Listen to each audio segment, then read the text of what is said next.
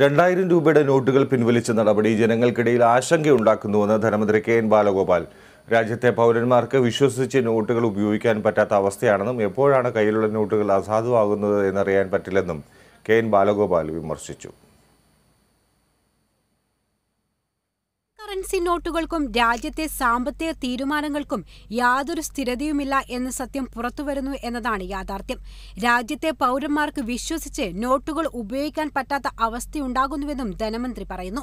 ഇന്ത്യയിലെ സാമ്പത്തിക രംഗത്തെ തീരുമാനങ്ങൾ സ്ഥിരതയില്ലാത്തതും അതത് സമയത്ത് തോന്നുന്ന മാനസിക വ്യാപാരങ്ങൾക്കനുസരിച്ച് നിശ്ചയിക്കപ്പെടുന്നതുമാണ് എന്നൊരു അവസ്ഥയാണെന്നും അദ്ദേഹം വിമർശിച്ചു. രാഷ്ട്രീയ കാരണങ്ങൾ ഉണ്ടാവാം ബി ജെ പിക്ക് എന്നാണ് ഞാൻ കരുതുന്നത്. ഏതൊരു സമ്പദ് വ്യവസ്ഥയെ സംബന്ധിച്ച് ഒരു ഒരു അതിന്റെ ഒരു എല്ലാത്തിന്റെ വിശ്വാസ്യത. അത് തകർക്കുന്ന തരത്തിലേക്കാണ് ഈ തീരുമാനം വരുന്നത്. പിന്നെ ഇത്തരം തീരുമാനങ്ങൾ പെട്ടെന്ന് തോന്നി ഒരു ഒരു പ്രഖ്യാപനം നടത്തുക എന്നുള്ള തരത്തിലല്ല വേണ്ടത്. അതിനാവശ്യമായ ചർച്ചകളും പഠനങ്ങളും ഒക്കെ വേണം. അതുകൊണ്ട് ഇതൊരു ആശങ്കയാണ് ഉണ്ടാക്കുന്ന ആളുകളുടെ മനസ്സിൽ നിന്നുള്ളതാണ് കേന്ദ്ര ഗവൺമെന്റ് നയമനുസരിച്ച് രണ്ടായിരം രൂപ നോട്ടുകൾ ഇന്നു മുതൽ പിൻവലിക്കുന്നതിനുള്ള നടപടികൾ റിസർവ് ബാങ്ക് ഓഫ് ഇന്ത്യ തുടങ്ങിയിരിക്കുകയാണ്. സെപ്റ്റംബർ മുപ്പതിനകം കയ്യിലുള്ള രണ്ടായിരത്തിന്റെ നോട്ടുകൾ ബാങ്കുകളിൽ കൊടുത്ത് മാറണം എന്നാണ് വാർത്തകളിൽ കാണുന്നത്. ശേഷം ഈ നോട്ടിന്റെ ഉപയോഗമേ ഉണ്ടാകില്ല എന്നാണ് മനസ്സിലാക്കുന്നത്.